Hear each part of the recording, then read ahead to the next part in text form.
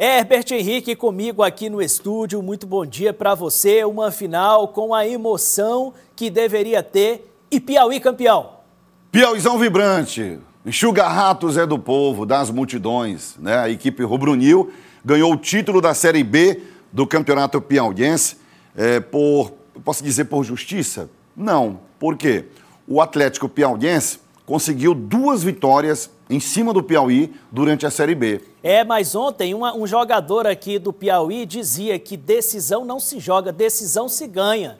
É. Então foi justiça pela entrega. Piauí campeão da Série B. É, um jogo equilibrado no primeiro tempo, no segundo tempo o Atlético voltou melhor, mas já é, na metade do segundo tempo Piauí melhorou em campo. E o destaque do jogo foi o goleiro Túlio do Enxuga Rato, viu? Pegou é, muitas bolas a torcida gostou. Fechou o que a gente, é o que a gente queria no, no, no, jogo, na verdade, era gols, né? Uma decisão é interessante quando você tem gols, 1 a 1, 2 a 1, 2 a 2 e tal. Não tivemos os gols no tempo normal, mas a decisão foi para os pênaltis e o Piauí não é, é, quer dizer, o Atlético não converteu as penalidades, foram três desperdiçadas. Piauí e foi o Piauí mais competente e converteu três pênaltis. O jogo terminou nos pênaltis 3 a 1 para o Enxuga Rato. A gente vai conferir agora o que de melhor aconteceu na partida no tempo normal. Vamos lá.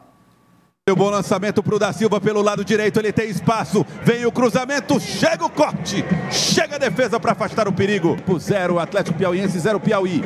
Vem bola na área, bola cruzada, cabeçada, a bola passa à direita do gol.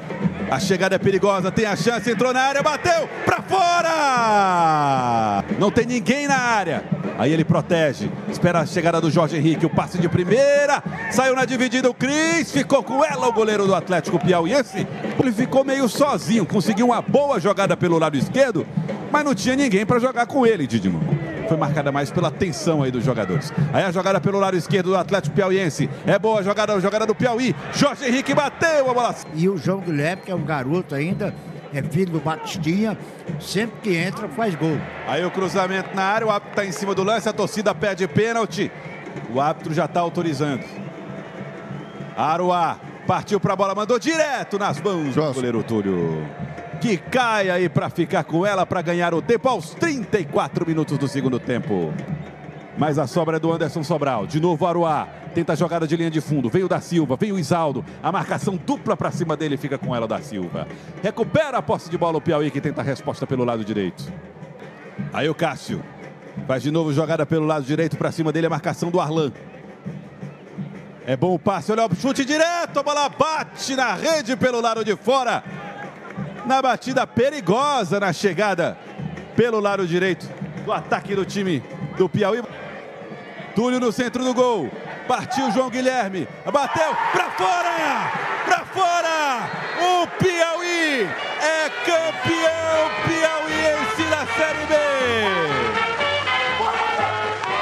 Você vendo agora um momento importante, histórico. O Piauí recebendo a taça aí das mãos do deputado Evaldo Gomes. A, a, a taça vai ser entregue ao capitão da equipe do Piauí, o goleiro Túlio, recebe a taça.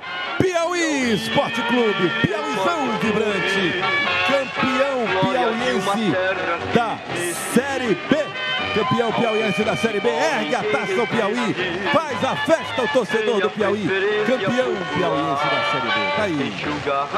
O time com história no futebol piauiense, que leva o nome do estado, agora ergue a taça, ocupa o lugar mais alto do pódio.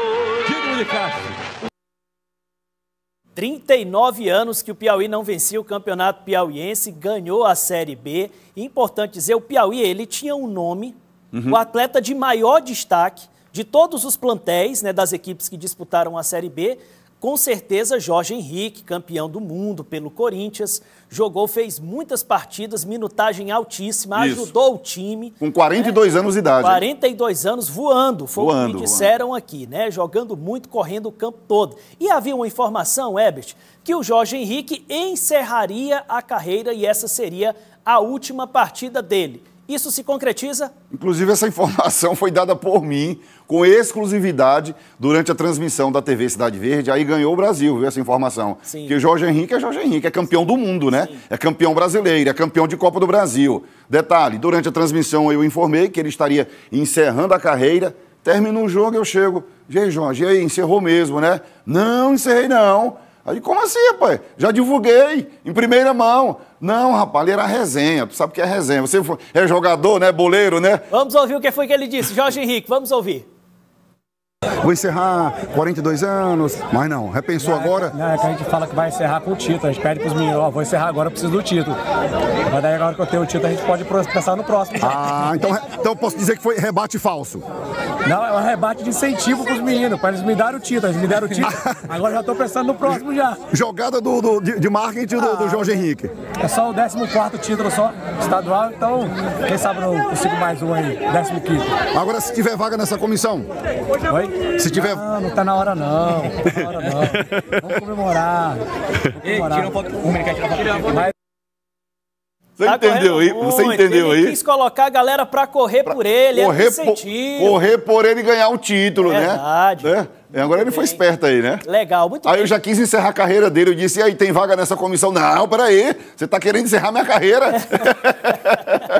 Agora, se vai ficar para o ano que vem, aí é incógnito. Não, né? fica não. Não fica deve não. ficar. Ele vai, ele né? vai, inclusive ficar. viaja hoje à tarde, né? Não fica, certo? E, e agora o Piauí vai montar o elenco para 2025. Importante que se criou uma rivalidade, hein? Hum. Entre Atlético Piauiense e Piauí Esporte Surge Clube. um novo clássico. Um novo clássico. Piauí. Piauí dizer... fortíssimo, inclusive, virando, sabe o quê? Demora.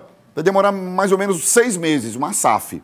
Olha só. Um, é a, um advogado lá de São Paulo é, que fez a SAF do Cruzeiro e está fazendo a do Atlético Goianiense, vai ficar responsável por fazer também a SAF do Piauí. Toda a documentação do Piauí vai hoje para São Paulo e é um modelo que pode dar certo no futebol do Piauí. Aquele modelo administrativo antigo do futebol aqui do nosso estado tem que acabar. Você tem que partir para a SAF tem mesmo. Tem que evoluir, tem evoluir. que evoluir. É importante dizer, pessoal, que Piauí e Atlético já estavam, independente do resultado de ontem, já tinham garantido o acesso à Série A. Né? Então vamos ver como é que vai ficar. Os grupos. É, os grupos da Série A. São as duas chaves, né? Vamos lá. com os dois. Olha, Olha aí, no grupo A tem Altos, River Atlético Clube, Fluminense e o Atlético Piauiense, vice-campeão da Série B. Agora, o grupo B, Parnaíba Esporte Clube, Oeirense, 4 de julho e o Piauizão Vibrante, campeão da Série B. Pode estar vendo ali o Oeirense, foi o campeão do ano passado da Série B, o Oeirense. Vem com tudo, viu, cachorro louco. Ah, é o que eu soube lá da primeira capital. Então, nós vamos então o Piauiense 2025 vai ser o campeonato.